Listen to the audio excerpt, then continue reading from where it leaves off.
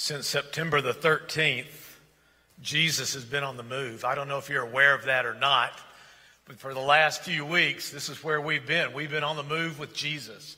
It is good to see you. Thank you for being here this morning. I'm filling in for John Whitten. He's been out for most of the week with other ministers uh, on a little retreat up in Arkansas. He'll be back this evening. We look forward to his return. Uh, goodness, thank you, Eric. Thank you for leading us. Thank you, Ensemble. Thank you, Orchestra. Uh, thank you for those of you who are watching, streaming with us this morning, listening on the radio. You're worshiping with Pioneer Drive Baptist Church in Abilene. And it is good to see my friends here this morning. Great to see you. Uh, we'll do this four times this morning. In every service, the commonality is that Jesus meets us here, is that he's been waiting for us since the sun came up to come and to worship him and to be a part of this uh, celebration together. Jesus on the move, uh, healing, sowing, Jesus on the move, preaching, initiating, uh, Jesus on the move, uh, feasting, Jesus on the move today, multiplying. Were you a good multiplier when you were in grade school? Do you remember first or second grade, maybe third grade? You know, subtraction, addition, you got to get down the basics, and, and then you can finally get to multiplying. Were, were you a good multiplier whenever you were in school? Multiplying, expanding, growing. A man by the name of Truett Cathy in 1967 had this idea of running a little, a little cafe, a little, a little store where people could come and maybe have breakfast, maybe have lunch. It was in Atlanta, Georgia. It was 1967. And he ventured out with that one little store. That one little store became today 2,624 of those little stores. Chick fil A. Do you know Chick fil A? Have you been to Chick fil A? Can I get an amen for Chick fil A? We love Chick fil A. We do. The one here on this side of town, always a ton of traffic. When we're in Arlington with our grandkids, their Chick fil A is right around the corner and no traffic. It's wonderful. We love, we love Chick fil A. But it all began with one store. One store. In 1980, Barbara and I were uh, leaders, sponsors for our, our high school trip uh, from our high school choir in Fort Worth, Texas, our home church. South Hills Baptist Church. The Pars, they were a part of that. The Cooks, they were a part of that. Others were a part of that. And we were going from Fort Worth, Texas down into the deep south, Mississippi, Georgia, Alabama. And they said, hey, all of our meals will be planned around Chick fil A. Well, we had never heard of Chick fil A. Chick fil A was not in, in Texas at that time. And I asked Ronnie, I said, What do you mean, Steve? What do you mean? We're going to be eating all the time at Chick fil A. He said, Yes, it's a Christian based store. Truett Cathy owns that store. And every meal that we eat, all 40 of us, every meal that we eat will be free for 10 days. Wow. Immediately, I was uh, sold on Chick fil A. We love Chick fil A. But something about multiplying, expanding, growing, becoming more and bigger. Jesus says, hey, the gospel has got to grow. More people need to know of the good news of the gospel. Up to this point, Jesus had been doing this all by himself. The disciples had followed, the disciples had been in training, the disciples had been learning, they had been at Jesus' feet. But Jesus had been behind the steering wheel. And he had been the one directing and leading and driving. But now this is going to be a radical change. Now it's going to be scoot over, take the wheel. Hey, disciples, now you get to drive. Now you get to be a part of this ministry. Now we really are all in it together. Kind of like what we do today. We find this to be our text this morning. I'm going to ask you to stand if you would. Mark chapter 6, verses 6 through 12. Then Jesus went around teaching from village to village, calling the twelve to him. He sent them out two by two and gave them the authority over evil spirits. These were his instructions. Take nothing for the journey except a staff. No bread, no bag, no money in your belt. Wear sandals, but not an extra tunic. Wherever you enter a house, stay there until it is time to leave that town. And if any, any place will not welcome you or listen to you, shake the dust off your feet when you leave as a testimony against them. They went out and they preached that people should repent.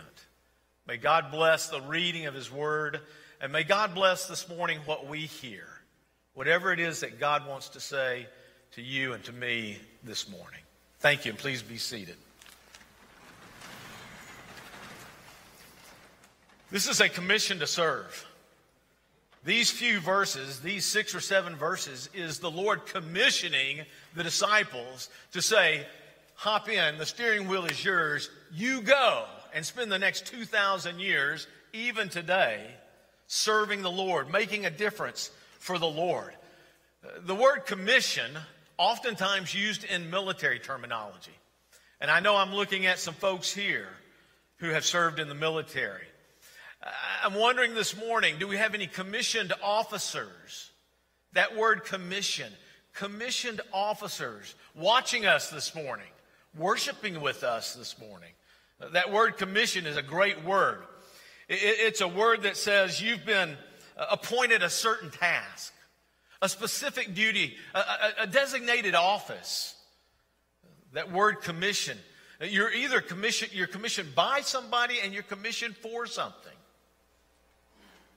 In the military, you're commissioned by the President of the United States. In the military, you are commissioned for that specific job, that specific uh, assignment. Paul, writing to the church at Colossae, he shares with them uh, my commitment to the church, my commitment to the Lord. He says in Colossians 1:25, I have become its servant by the commission God gave to me to present to you the word of God in its fullness. Paul says, I've been commissioned. We've been commissioned. I'm looking at a, a room full of people, disciples, followers. We've been commissioned to serve our Lord, our God. We're reminded this morning that in this commissioning comes a calling. It's found in verse 7. In verse 7, Jesus says, calling the 12 to him, he began to send them out two by two and gave them authority over evil or impure uh, spirits. Jesus on the move, calling. Jesus has called you, and Jesus has called me. Graduated from high school in Fort Worth, going to TCU, uh, pursuing a business degree, uh, later going into the workforce. Uh, Barbara and I both working for General Brick Sales in Fort Worth. In the process of doing that, hadn't started our family yet and God calls. And God calls and says, uh, Jeff Reed, I want you to go into full time ministry as, as a pastor, as a minister. I want you to leave this brick company and I want you to follow me in this designated, commissioned, called profession. I want you to be a minister. Stop what you're doing and go to school. In fact, you're going to need a lot of schooling, Jeff. Go to school. But that calling, April the 1st, 1979, it's as fresh today as it was back then. But we continue to be called. Somewhere along this journey, God calls you. And you said, I believe in you. I accept you. I invite you into my heart, into my life. In the 1030 service last Sunday, uh, Sam Whitten came forward, John's seven year old boy came forward to say to his dad, I've been called. I've been called to be a disciple. I've been called to be a follower. You know, Jesus has called us past tense, but he's also calling us present tense. He's calling us today. And it may be this morning, watching, listening, observing this morning, it may be that God is calling you to be a disciple, to be a follower, to be a believer, to say yes to Jesus. that maybe this morning He's calling you into ministry, into service, into something really specific. Maybe something that, that you've been thinking about, you've been praying about. You're, you're kind of on the, on the, on the, you're kind of, and God is calling, God is speaking, God is, is whispering your name this morning. I think about this picture of our, our Pioneer Drive High School choir. We are so blessed with the youth that we have in our church. Unbelievable. Eric, we appreciate the great job. We appreciate the history of what we have. We're reminded that, that there's a commissioning, there's a calling on the lives of these young kids, of these students, to come and rehearse and practice and practice and be a part of garage sale and, and make the trip and be a witness and, and be a follower of Christ. We're reminded that before they take off for Atlanta, before they leave for Pittsburgh, uh, before they, they go to Charlotte, before they go to Boston, before they go to Corpus Christi, before they go, we commission them. We have a commissioning service right here. We circle the perimeter of this sanctuary. We invite prayer partners to come and to stand alongside. Oftentimes, we will pin them with a gold cross or some kind of reminder that says, I'm praying for you. We're in this together. And you're being commissioned by our church. But more importantly, you're being commissioned by our Lord Jesus Christ to go and to be a witness. There's a calling that comes with the commission, but there's also a pairing. It's interesting that Jesus says in verse 7 that they will leave two by two. Jesus isn't making this up. There, there's a reason for that. It's well planned out. He's so far ahead of the disciples. He says, I want you to go in pairs. I want you to go in pairs because, because that's more powerful than just one is two. I want you to go in pairs because of the strong influence that you'll have. You'll be able to encourage one another and you'll be a valid witness for each other. What you see, what you see. What you hear, what you hear. What you don't see, what you don't hear. What you experience.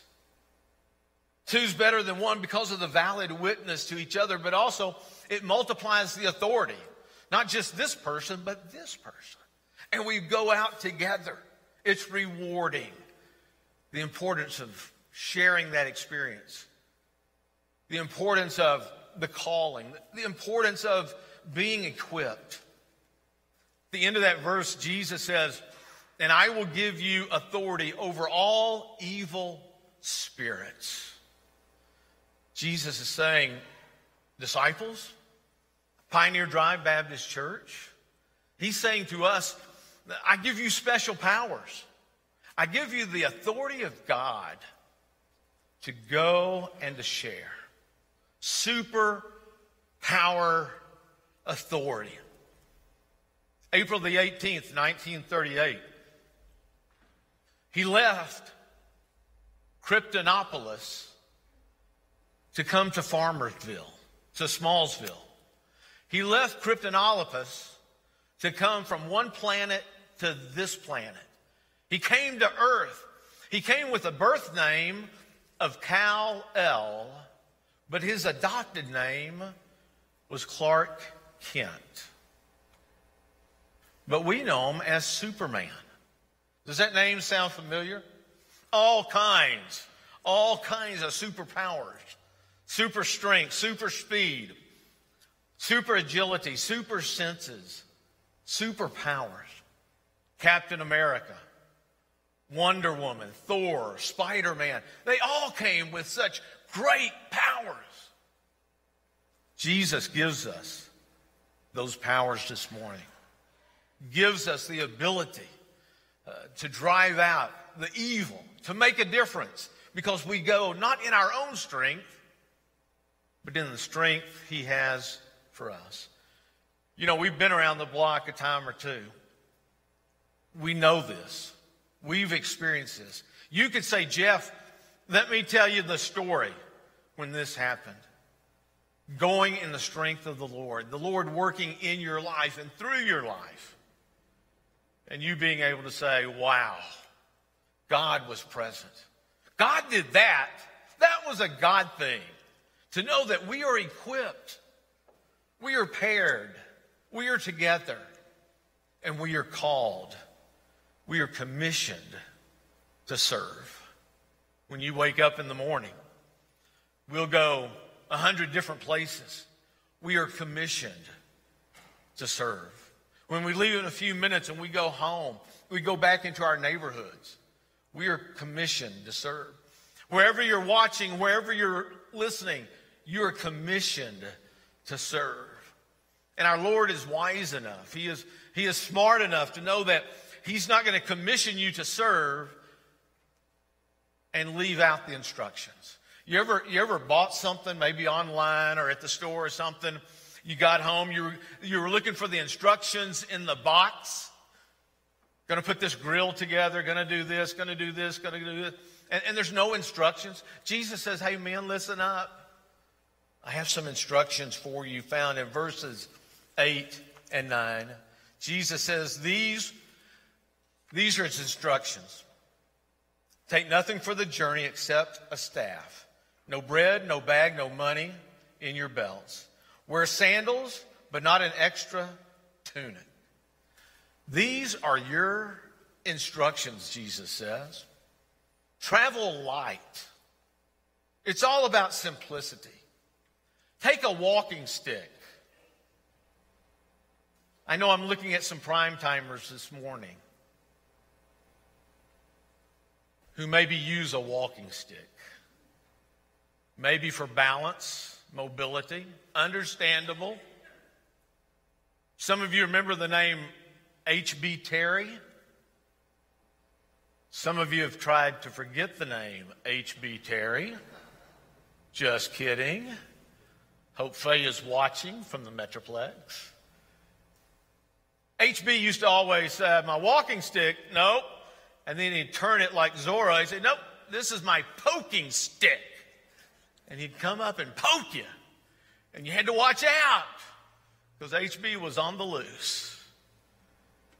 He says, take a walking stick and, and your sandals. But you don't need this, and you don't need this, and you don't need this. You, you really don't need to burn yourself down. You need to travel light. Because Jesus is on the move, He wants us on the move. And He doesn't want us to be bogged down, He wants us to travel light. For years, I've spent a lot of time running and running and running. My good friend Dwayne Donaway sucked me into it, caught me at a weak moment. And years later, we've run a lot. He's 38, he still runs. I'm 104, I've slowed down just a little bit. One of the things you find out in running world, in that culture, is that you want to run as light as you can. You don't want a big jacket.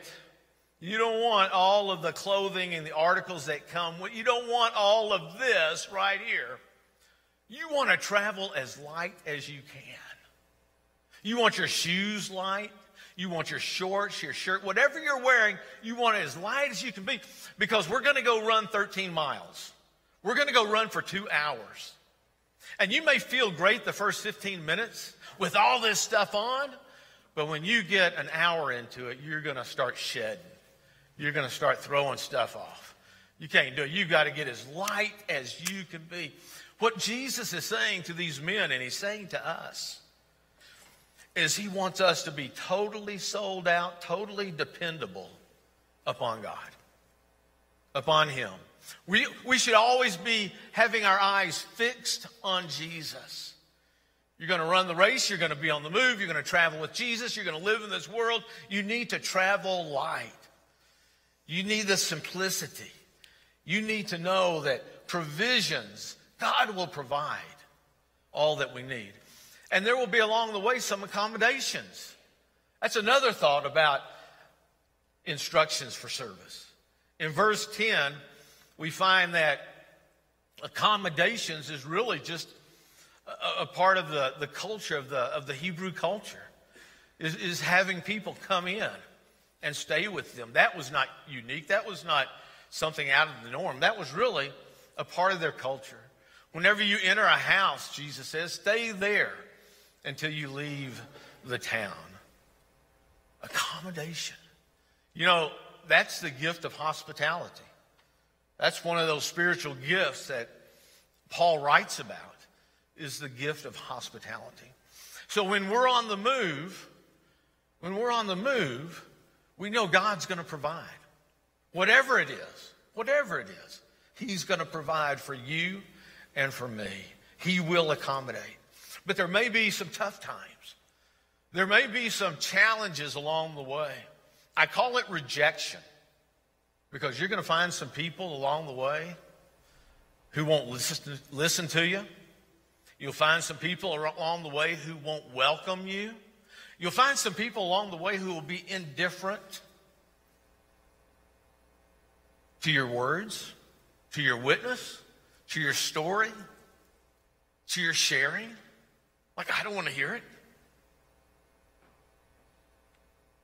Disciples need to know this. Welcome to the real world, disciples. Welcome, welcome to Jesus' world. Not everyone's going to welcome you or listen to you. Rejection, men, is a reality. Charlie Brown and a friend are having conversation, conversation. And Charlie Brown says, You know, I learned a lot in school today. I signed up for guitar, computer programming, stained glass, shoemaking, art, and natural food workshop. Friend says, so how'd it go? Charlie Brown says, I've learned that what you sign up for in life and what you get in life are often two different things. Have you learned that? You have this expectation, you have this outcome, and the world throws you a curveball, and it ends up over here. It does. It ends up, and, and you take it personal. That sense of rejection. Maybe in a relationship, maybe in family matters. If you take those concentric circles of the family and take them out far enough, we got some weird people in our families, don't we? We do. Maybe rejection in that area, maybe something at work. Maybe you're expecting a yes and the answer came back no. That fulfillment is not there. Yet Jesus says, Beware. Beware. Welcome to the world of Charlie Brown. Welcome to the world of the disciples. Welcome to the world of Jesus. Everyone, not everyone, will welcome you. And not everyone will listen to the good word that you have to share, the witness that you have to share, the kindness that you extend to them. Instructions for service, there they are. Provisions, accommodation, rejection. Commission to serve by God and for his kingdom. Each one of us for his kingdom. And lastly, this morning, the uh, challenge to for submission for service. We take a message with us when we leave. We take a message back into the world. We are radically different than the world. We're followers of our Lord Jesus Christ. Jesus on the move.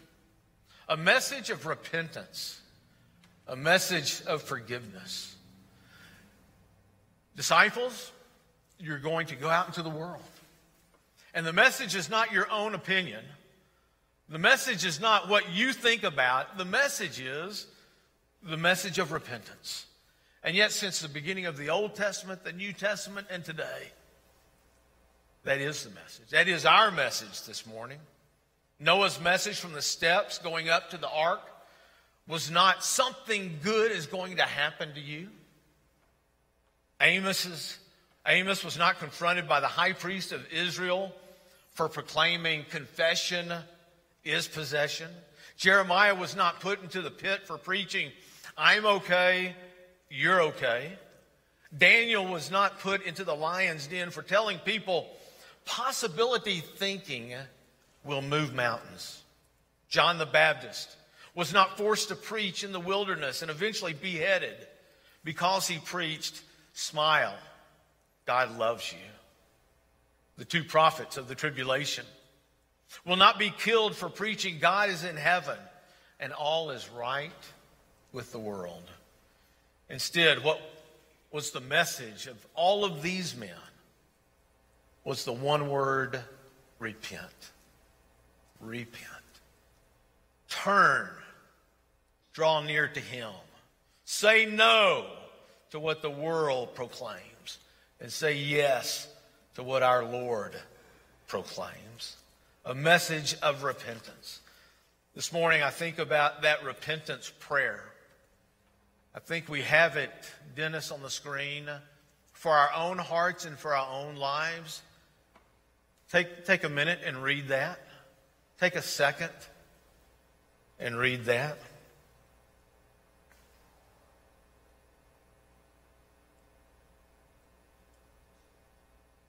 Lord, you know my heart. There's nothing I can hide from you. I have strayed from the path. I have been lured away. But, oh, Heavenly Father, restore to me the joy of your salvation, that wonderful freedom and joy when I first came to know you. Do you remember that day? Do you remember that moment? Do you remember that place? Do you remember those people? Yeah. Do you remember being on fire? Do you remember being excited? Do you remember being ready? Do you remember being on go, a green light? Let's do it. Let's take the world by storm. And then you found out this is a, is a marathon.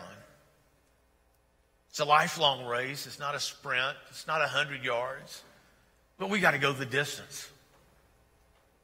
On Tuesday, I'll preach a funeral over in Baird for a good friend of many of us, a lady by the name of Flossie Bradley. Don't you love that name? How good a name is that? Flossie. Lived in Baird. Old school. Old, old school.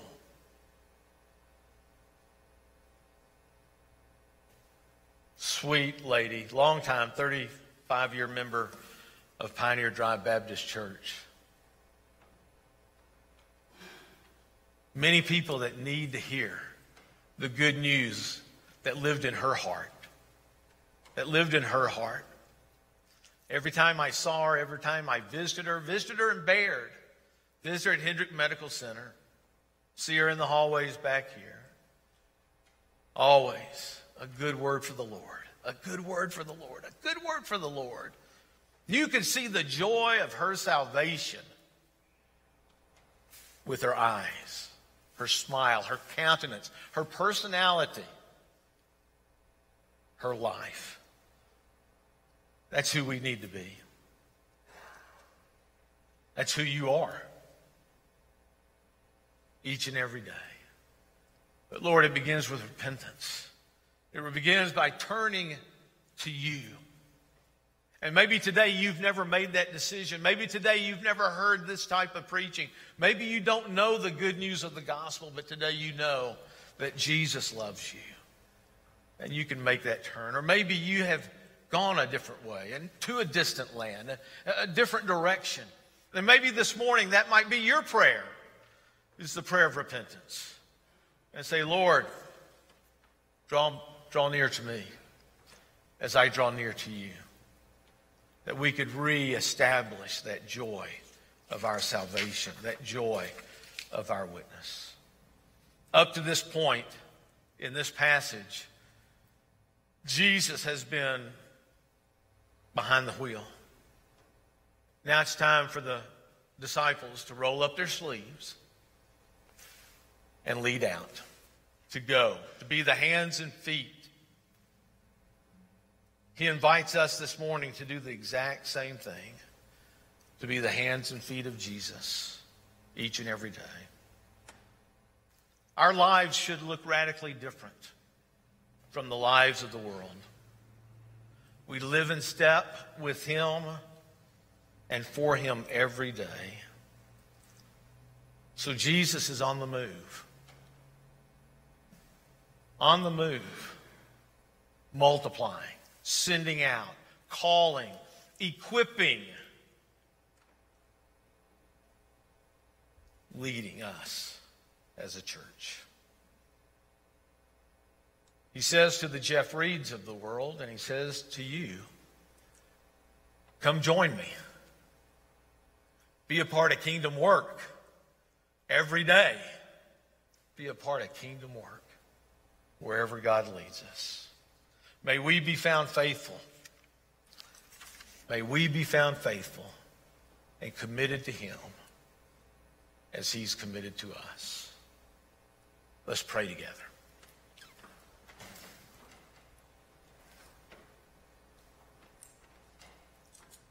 Heavenly Father, we thank you for our studies of recent days, recent weeks, to be mindful, Heavenly Father, of uh, your calling, your passion, your mission, bringing the good news of the gospel to a lost people inviting us to be a part of your team, a part of your family, letting us experience the joy of sharing, the joy of living out the good news, knowing, Heavenly Father, that, that you could do all of this without us, but you share the joy, you, you share the rewards, you share the blessing that we get to come alongside and be on mission with you. Lord, we're, we're grateful today for the challenge this morning to renew our commitment to you, our fellowship of you, and our love for you. Speak to us this morning. In Jesus' name I pray. Amen.